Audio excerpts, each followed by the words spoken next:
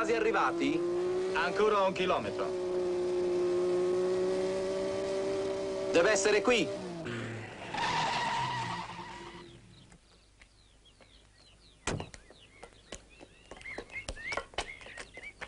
Dai, dai, presto! È meglio che l'alzi un poco. Franco, eccoli.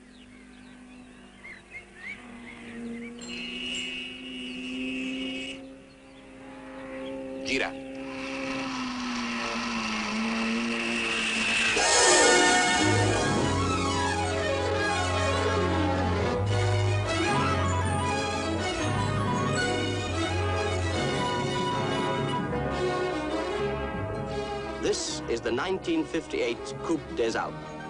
56 production cars from eight countries struggling to win a cup. An Alpine Cup, the dream of every rally driver. To win a cup, your car must maintain a set average speed over a 2,400 mile course. From the coast, it's easy going to the Alps. Then across the border into Italy by night, and a race to the end of the first stage at Brescia, 600 miles without a break. The second stage swings northeast over the toughest passes in the Dolomites, then back towards France again to finish at Megève. But there's worse to come. The final stage twists south via Gap, an 1,100 mile stretch to end at Marseille. 73 hours driving with only three breaks. And to make sure that you keep up your average, there are 73 checkpoints along the route. One second late at any of these, and your cup is lost.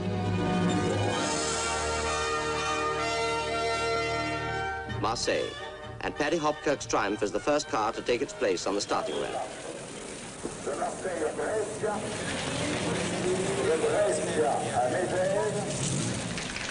He's off.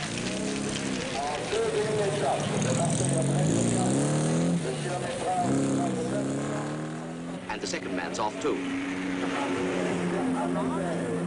French champion Storez with his German Porsche is a contender for a cup. So too is Collange, winner in 56, again on an Alfa Romeo. The time card is handed to Ronnie Adams.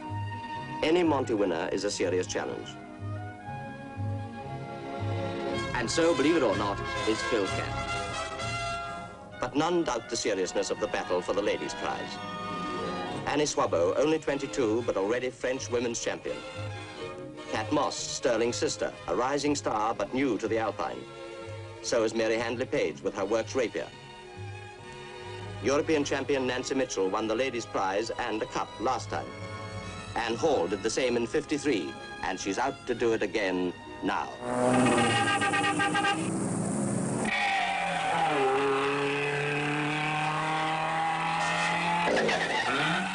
Here comes the first real challenge. Up the Col d'Espigoulier, you've got to average nearly 40 miles an hour.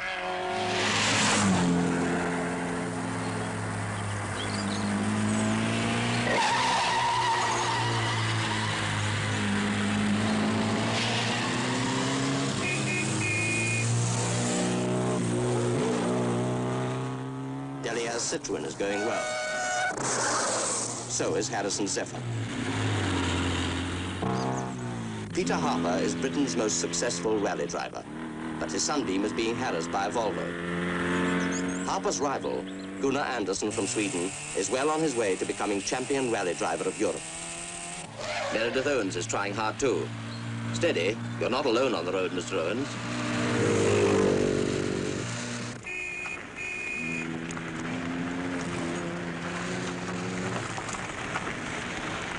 Spectators the world over always encourage drivers to go as fast as they can, even when it makes things difficult for those behind.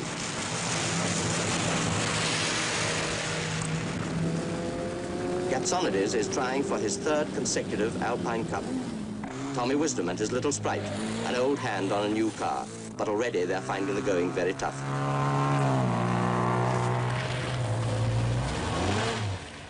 Bajol, first of the 73 checkpoints and newcomers learn how to stamp the time on that all-important card.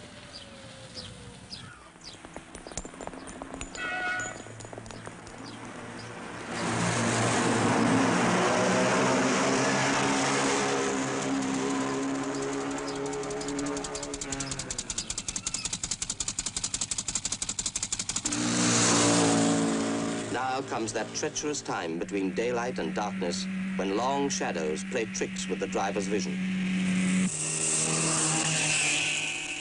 On the Col Saint-Jean, sunlight still lingers, but ahead lie the Alpine giants, Allos, Cayolle, Var, and Izoard. The fortunes of many will change during the night.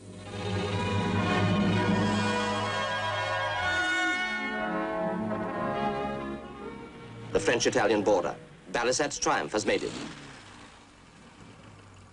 And John Gott's on time too, but only by four seconds. Many are less lucky. Anne Wisdom and Pat Moss are the only girls still on time. Now for an easy run through sunny Italy.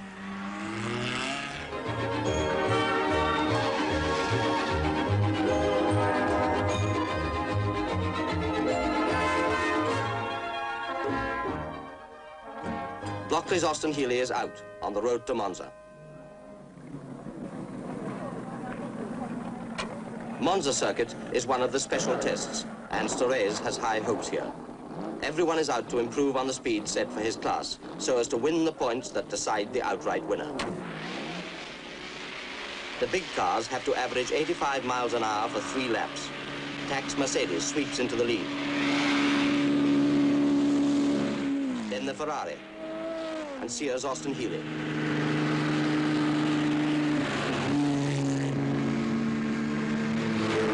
The checkered flag and two more cups gone. Ferrari has spun and Adams Ford is late too. Tacx has made the fastest time of the day. It's an easy run on a good road to Brescia, and most drivers have time to refuel. But even on an easy run, someone can be unlucky. Corbishley Standard is three minutes late. Some are pleased with life. Others just want to go to bed. It's time for sleep, and the cars are locked away until tomorrow. The first stage has taken a heavy toll.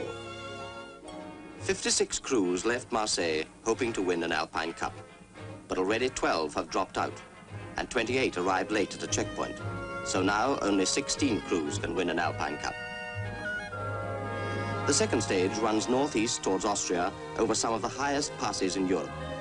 Croce Domini, Vivione, Pennes, Monte Giovo, Stelvio, and Gavia. Then back towards France again over the Great St. Bernard to finish at Megève. And it's a four o'clock start.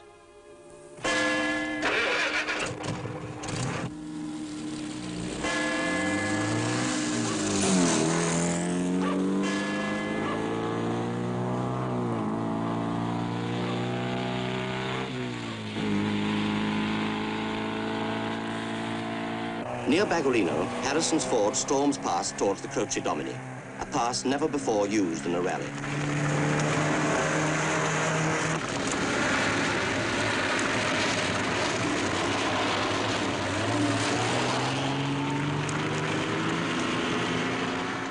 Torres Porsche.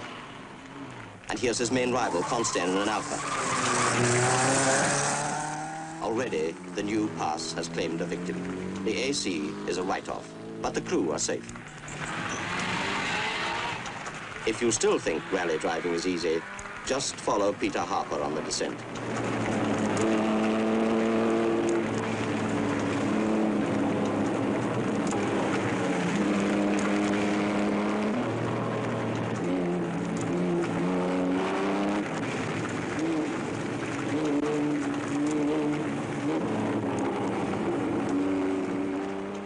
It's getting worse, for now the surface is damp too. Not water, but petrol from tax Mercedes. A stone pierced his tank, and now he must rely on gravity.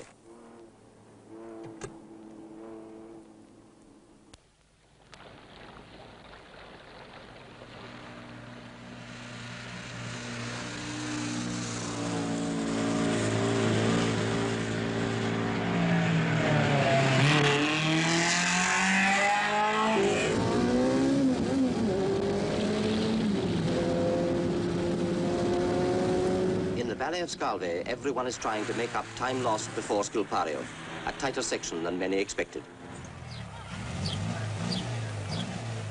Storez still has a clean sheet. But now comes the Vivione.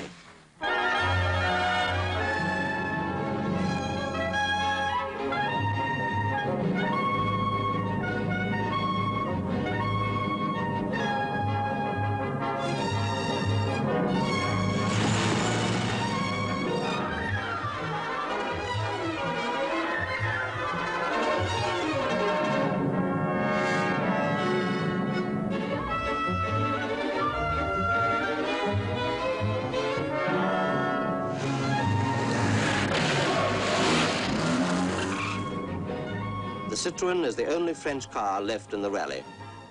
It's tough on the cars, but the Jaguar is still in showroom condition.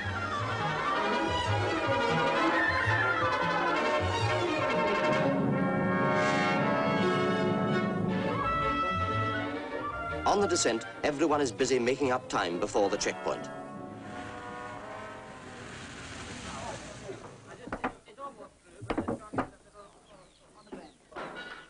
Now the showroom doesn't seem so close. And the Citroën made it too. But they've left something behind.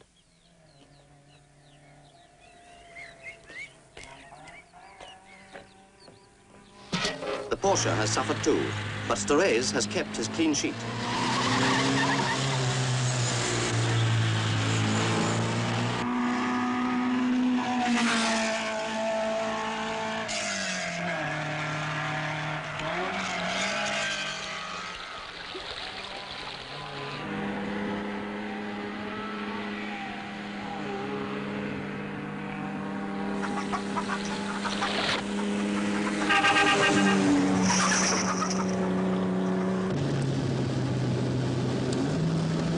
Dust is the great worry on the Passo di Pennes.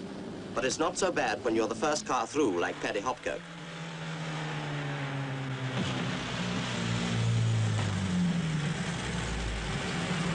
Vipiteno, the foot of the Brenner. And now we swing back towards France again.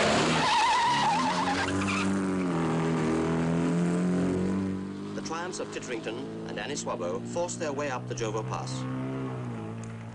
And the visibility is getting worse with every car. Storez can still win a cup, but the Porsche has had another bump.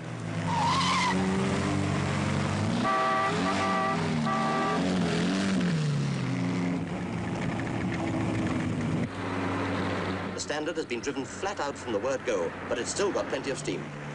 So has Hopkirk's Triumph. A pause to cool off, for ahead lies Italy's highest pass.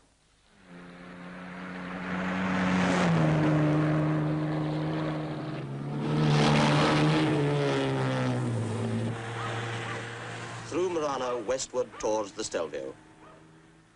That name wakes Annie up. She's third in the ladies' class, but the Stelvio could change things. The leader, Pat Moss, is doubtful of her spark plugs. Teammate Jack Sears is helping, but he runs the risk of losing more time himself.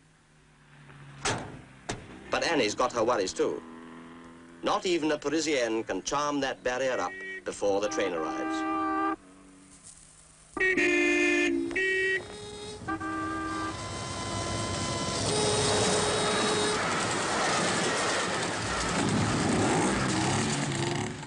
And now, there's a Grand Prix to the Stelvio.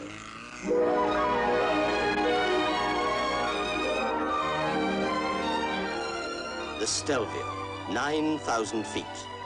The most spectacular climb in the world.